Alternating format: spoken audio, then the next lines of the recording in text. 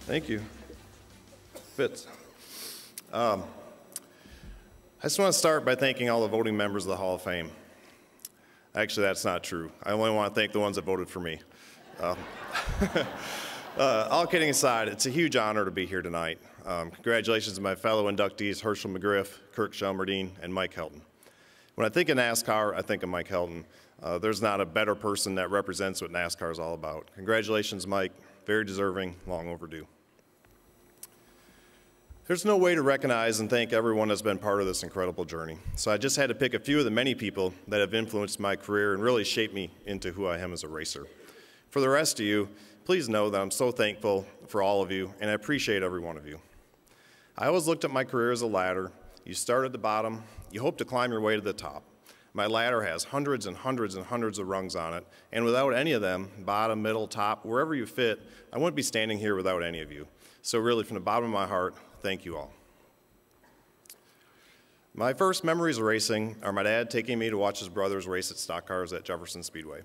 He'd head to the pits, and I'd sit up on the hill with my aunts, grandparents, and cousins.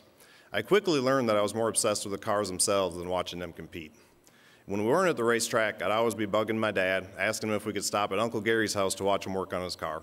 We spent a lot of days out there working on race cars, storytelling, laughing, and uh, just spending time together racing truly is a family sport. I need to mention uh, Greg Folk. He designed and built my dad's first new race car. I eventually started working summers at his shop alongside of him and Daryl Smithback. They taught me so many lessons about racing and showed me the right way to do things. He also changed my approach to racing. I was at Slinger Speedway, I was 17 years old, driving a new sportsman car that Greg and I built together. I set fast time that night and won the fast dash. Greg showed up right after the dash was over. I was so happy when I saw him. I quickly walked out gave him the news. Fast time and we won the fast dash. He didn't smile. He didn't share my enthusiasm. He asked how the car was. I said, we got fast time and won the fast dash. He stared at me again. He said, I asked, how's the car? So I calmed down and I told him how it was driving. He asked what I could do better and how we could get it there. And then we quickly went to work on getting it ready for the feature. I didn't realize it at the time, but this changed the way I looked at racing for the rest of my life. It made me enjoy the small successes less, but it paved the way for larger ones. It taught me to never be satisfied. You weren't going to win off talent alone, or by having more fun than everyone else, or having a good attitude. You were going to win by taking it more serious than your competitors, working harder, and making your car faster. So for everyone out there that's worked with me that has made the comment that I'm never happy, blame Greg.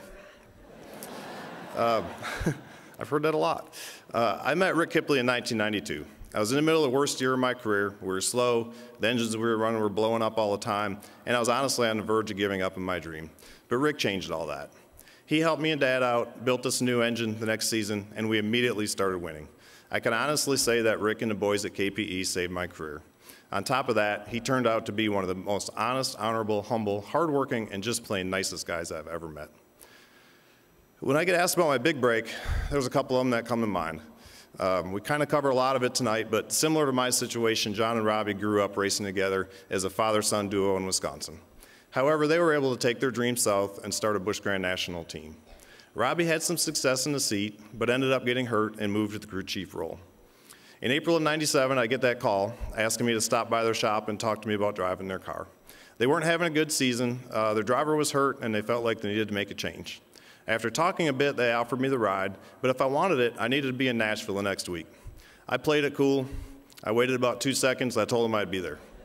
and then we looked around the shop to find a car I could sit in, but they were all wrecked. So I sat in a car with no rear clip. I asked Robbie if they had one that wasn't wrecked. He assured me they did.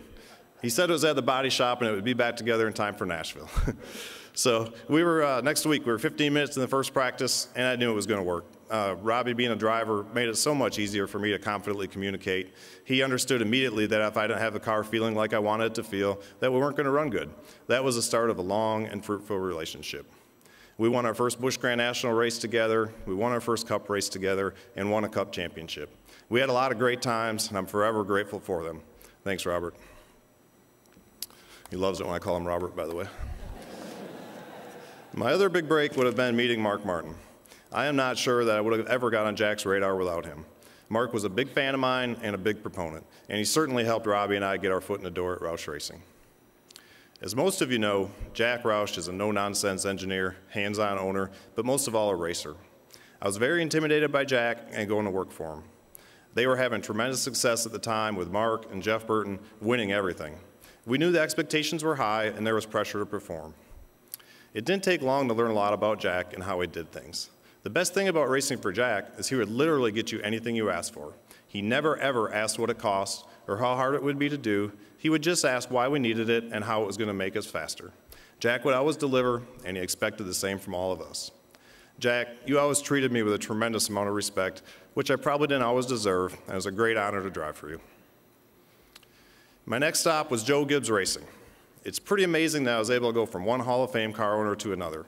Coach is a great leader, motivator, speaker, salesman, recruiter, and storyteller.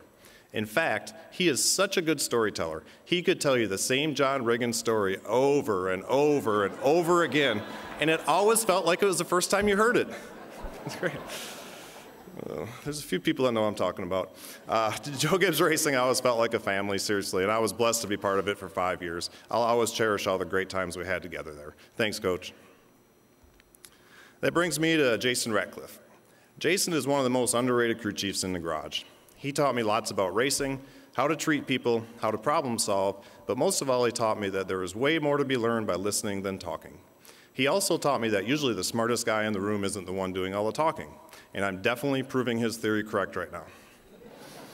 Jason, I had so much fun working and racing with you, and um, just thanks for being the man and the friend that you are.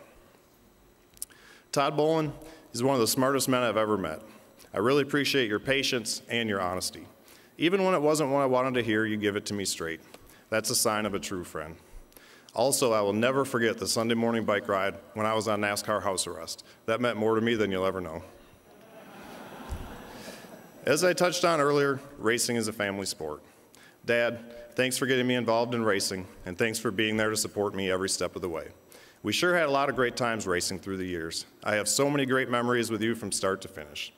I appreciate all that you sacrificed to get us to the racetrack, as I'm sure you would have loved to trade for a new Corvette every year instead of buying race tires and pit passes. You never complained, never said no, just came up with solutions and tried to help me the best you could to realize our dreams. Who would have ever thought it would have ended up like this? Thanks, Dad. My sister, Kelly. I know it hasn't always been easy being Matt's sister, but thanks for supporting me. Uh, from going all my races, uh, growing up, running the fan club, running the store all those years, I really appreciate you being there. I can't imagine how old it got answering questions about your brother. People walking up and telling you how great your brother is. People walking up and telling you what a jerk your brother is. Although you probably agreed with that group. but seriously, thank you, Kelly.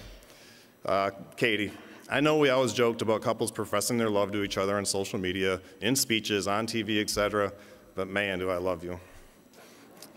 I couldn't ask for a better person to go through this journey of life with. Thanks for loving me, supporting me, and always having my back. Ross, Kaylin, Grace, Clara, Mallory, I've been so blessed to have you kids. I'm proud of you all, and I love you all to the moon and back. Amber, thanks for taking such good care of Ross, and thanks for the awesome grandkids. Lexi and Colt, I'm so thankful you can make it out tonight. And last, but certainly not least, I want to thank my mom. She was a great woman of faith who was always there for her family. I miss her dearly, and I wish she was here celebrating with us tonight. Thanks, everyone.